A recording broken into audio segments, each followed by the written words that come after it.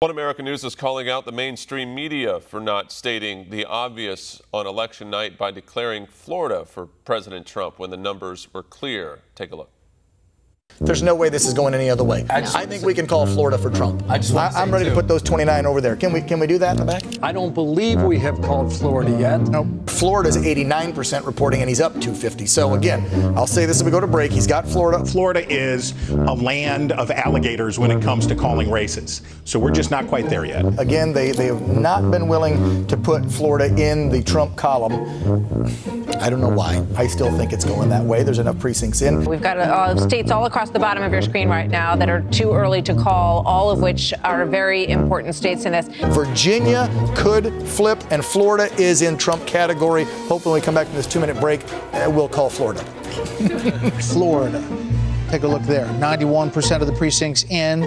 Donald Trump 51.3% to 47.8. Again, all of those too early to call at this hour. Yama broken record. Florida is going to be Trump. NBC News now says it is too close to call in the state of Florida. 92% of all precincts reporting. Uh, but as always, Eamon, too close. 380,000 votes at 94%. I'm not sure why the AP or nobody else is putting Florida in the I mean, Trump this is bracket. huge. Yeah. Right.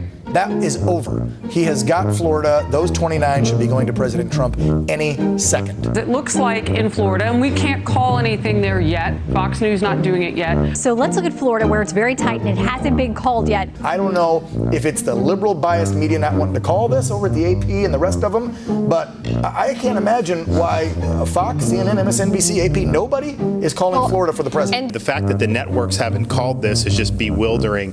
Fox and some of these others won't call Florida. They're literally, if Biden won every vote outstanding, he could not win Florida. This is over. Book it, and let's move on. just putting it out there, since I've been saying it for the last two hours, that Florida is going for President Trump. I'm glad that the governor agrees with me. And you know, while it sure looks like Biden is going to lose Florida, the fact that the Fox News decision team hasn't called Florida yet says to me, it you know, maybe it's a small margin, but it's still up for grabs. We're at 97% of precincts reporting Oh my gosh. President Trump. I mean, Come on, we're going to call Florida. I mean, come on. Yeah. It's over. He is so far ahead, it's done. The powers that be here at OAN have given me the authority.